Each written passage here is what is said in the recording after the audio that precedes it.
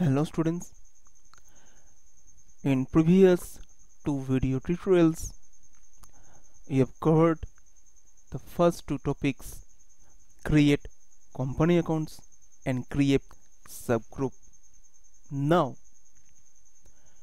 the third topic is create ledgers. So, how to create ledgers?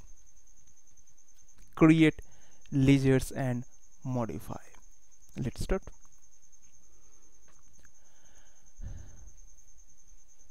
Click on the setup menu. In this menu bar you have to click this setup menu and then click chart of accounts.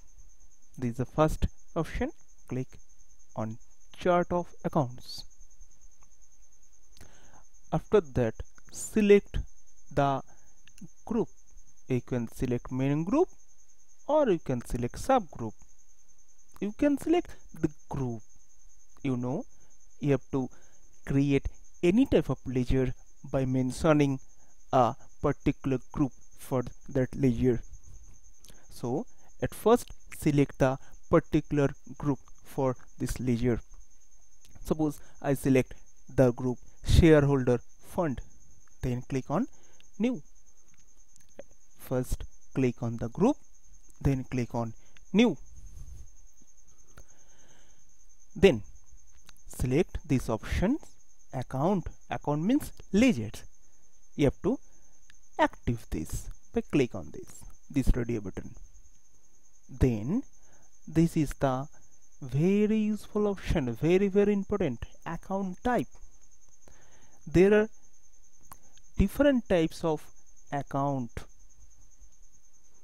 customer expenses income supplier. You have to follow this account type. Like uh, for example SBI this is a ledger name. You have to select the account type bank. Suppose a company name CTL limited. And suppose CTL limited is your creditors.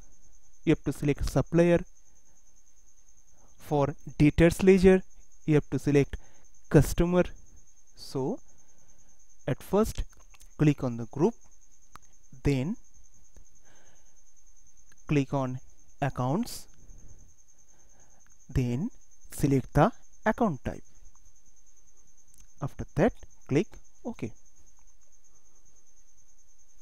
Then type the ledger name from here and put the opening balance here. We can change this credit or debit option from here. After that click ok. So it is a process how to create ledgers. There are new process which is ledger modification. Suppose you have to modify any type of ledgers suppose any there are any type of spelling mistake or you have to put a new opening balance for this ledger. Any type of ledgers. You have to modify that ledger. How to modify this ledger? Click on the setup like previous. Click on the setup. Then select chart of account. After that select the ledger which you have to modify.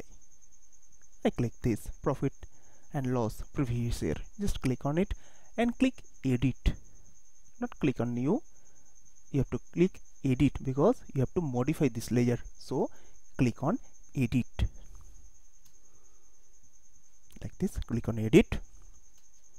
Then you can change the ledger name. Suppose there are some spelling mistake. You can change the ledger name.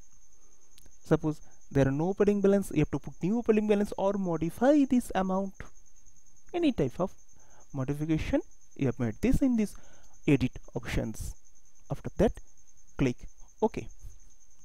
So these are process how to modify your existing ledger accounts.